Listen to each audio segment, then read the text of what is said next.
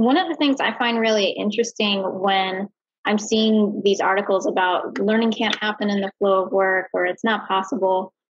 I find that those articles are very L&D centered. Like they're much more about what are the methods we typically use outside of the classroom. So it's like, oh, well, if we create videos, that's, you know, that's still not really in the flow of work. And I what strikes me about that is what we talk about in the LCD model is being much more centered on learner context. So really actually leaning on your learner to and it's some of the great stuff you all have already been sharing, like leaning on the learner to tell you what is their environmental context, where where are they already and how can we meet them there and not necessarily always trying to create brand new momentum of course you know of course it's nice to have like the one stop shop and try to direct everybody there. And maybe you do that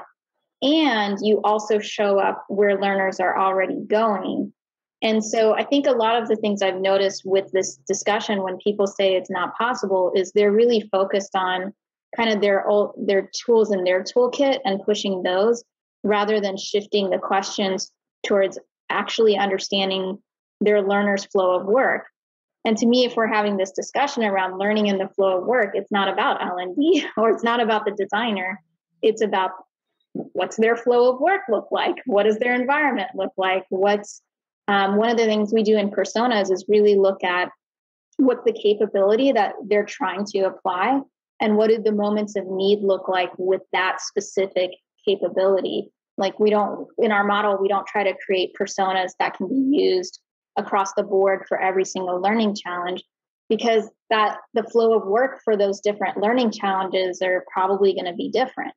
So i'm just curious if anyone has has thoughts on that just the idea of being kind of l&d centered and what we can do rather than being